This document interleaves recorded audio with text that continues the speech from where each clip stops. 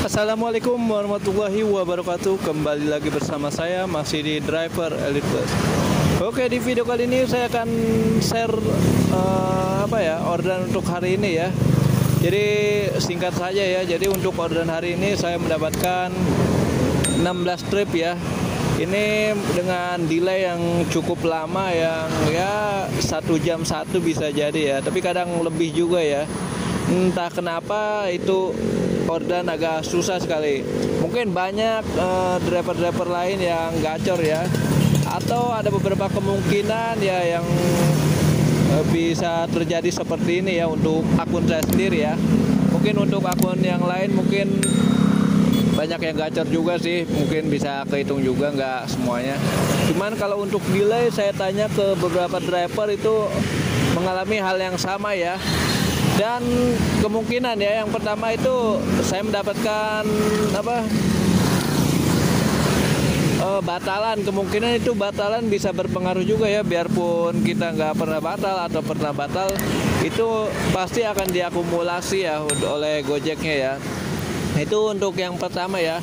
Dan yang kedua uh, ini ya uh, dari rating ya. Dan kemarin saya itu Oke, kemarin saya mendapatkan rating bintang 3 ya dari customer. Entah salahnya di mana karena kita nggak tahu ya kira-kira apakah kitanya terlalu ngebut atau kitanya rem mendadak atau hal yang lainnya.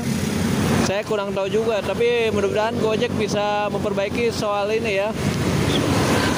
Jadi apa gitu kesalahan kita ya emang ini dirahasiain oleh Gojek ya untuk customernya yang memberikan rating seperti ini ya.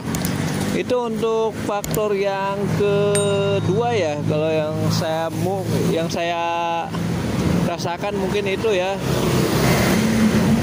Mungkin itu saja kali ya untuk video kali ini. Jadi kita harus tetap bersyukur ya dengan hasil yang kita dapatkan hari ini ya. Biarpun nggak begitu banyak nggak seperti kemarin 20 trip tapi kita harus tetap bersyukur dengan rezeki yang dikasih oleh Allah Subhanahu wa taala.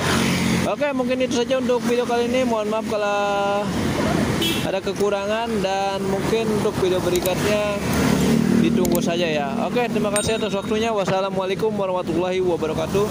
Salam driver Elite Plus, salam satu aspal.